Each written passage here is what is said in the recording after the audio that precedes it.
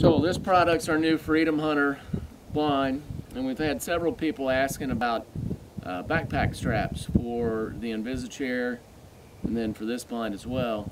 So we got to looking and, and actually you can use the existing uh, blind stops to keep your canopy from going into the water. So this webbing that we're going to use as the backpack strap attaches to the top of the canopy frame on the blind portion of the chair. You can see the mesh for the top and it attaches right there. And so we bring this piece of webbing around, around the top. The top's nice and comfortable on your back. And then we buckle it into the buckle on the top side of the chair so that now it's on the outside. And these are what we'll use as our backpack straps.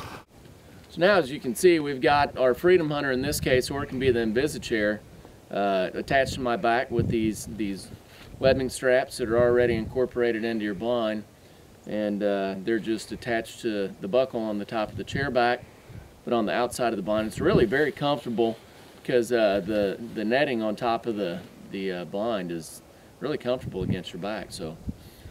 Now ready to go? Got both hands free and uh, ready to head out into the field